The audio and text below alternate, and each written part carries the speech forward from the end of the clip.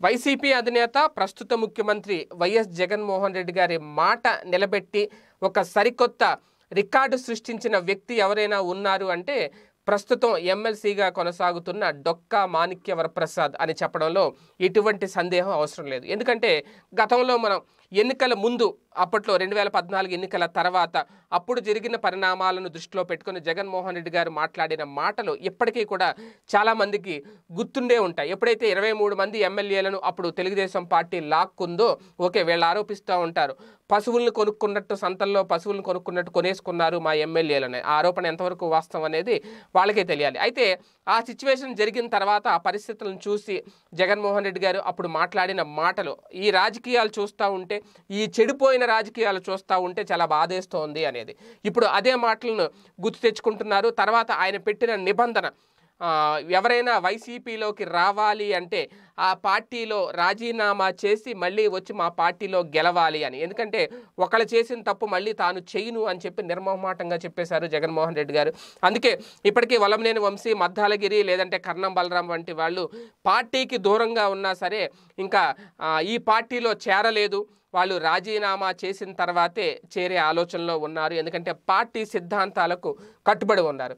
అయితే ఇక్కడ ఎందుకు డొక్కా మాణిక్య వరప్రసాద్ గారు జగన్మోహన్ రెడ్డి గారి పరువు కాపాడారు జగన్మోహన్ రెడ్డి గారు మాట నిలబెట్టుకున్నారు తానంటే ఏంటో నిరూపించుకున్నారు ఆయన ఒక రికార్డు సాధించారు ఇన్ని ఘనతలు ఆయనకి దట్టి డొక్కా అని ఎందుకు అనాల్సి వచ్చింది అంటే టీడీపీ ద్వారా ఎమ్మెల్సీగా గతంలో ఎన్నికైన ఆయన మండలిలో మూడు రాజధానుల బిల్లు ప్రవేశపెట్టిన సమయంలో తన ఎమ్మెల్సీ స్థానానికి రాజీనామా చేశారు. ఇమీడియట్గా రాజీనామా చేసి వైసీపీలో చేరారు. ఇప్పుడు తాను మళ్ళీ రాజీనామా చేసిన స్థానానికే మళ్ళీ వైసీపీ నుంచి పోటీ చేసి గెలుపొంది మళ్ళీ అదే ఎమ్మెల్సీ స్థానానికి వచ్చి కూర్చున్నారు. అదే ఎమ్మెల్సీ స్థానంలో.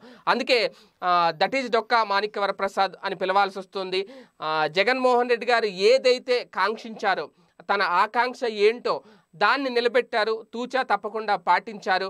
రాజీనామా చేసి మళ్ళీ అదే స్థానం నుంచి వైసీపీ అభ్యర్థిగా గెలుపొంది మళ్ళీ ఇప్పుడు శాసన మండలిలో అడుగుపెట్టారు. అయితే ఇలా వేరే పార్టీలో తను పనిచేసి ఆ పదవికి రాజీనామా చేసి మళ్ళీ పార్టీలోకి అడుగు అడుగుపెట్టిన ఇప్పుడున్న పరిస్థితుల్లో మొదటి వ్యక్తి డొక్కా మాణిక్యవర ప్రసాద్. అందుకే ఆయన రికార్డు కూడా సాధించడం జరిగింది. శాసన మండలి ద్వారా ప్రభుత్వాన్ని కంట్రోల్ చెయ్యాలి అని అనుకోవడం ఆయనకు బాధ కలిగించింది అని అని ఆయన మాట్లాడడం వాస్తవానికి పెద్దల సభగా పరిగణిస్తాం మండలిని.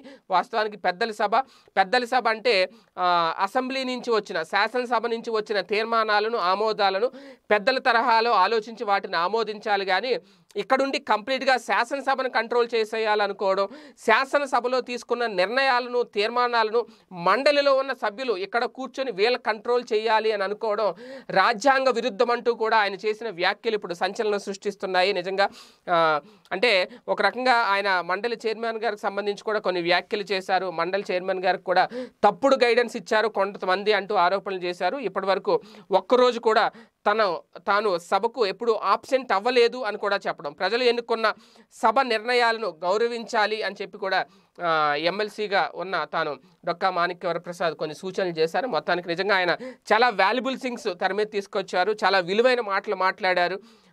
అద్భుతమనే చెప్పాలి. ఒక రకంగా ఆయన వ్యాఖ్యలు చూస్తూ ఉంటే చాలామందికి ఆయన ఎక్క ఎప్పుడైతే ఏ పార్టీలో గెలుపొందారో ఆ పార్టీ నిర్ణయాలు నచ్చక రాజీనామా చేసి మళ్ళీ వైసీపీలు చేసి వైసీపీ నుంచి గెలుపొందడం ఏకైక మొదటి వ్యక్తి ఒక రకంగా ఇప్పుడు ఇప్పుడున్న పరిస్థితుల్లో. సో ఇది ఒక రకంగా మిగిలిన వాళ్ళకి కూడా ఒక భరోసా కల్పించింది అని చెప్పాలి.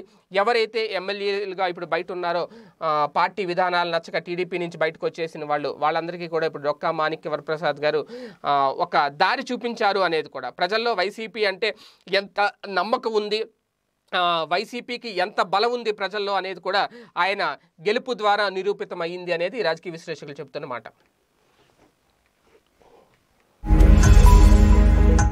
వీడియో గనక మీకు నచ్చినట్లయితే లైక్ చేయండి షేర్ చేయండి. మరిన్ని వీడియోస్ కోసం మా ఛానల్ను సబ్స్క్రైబ్ చేయండి.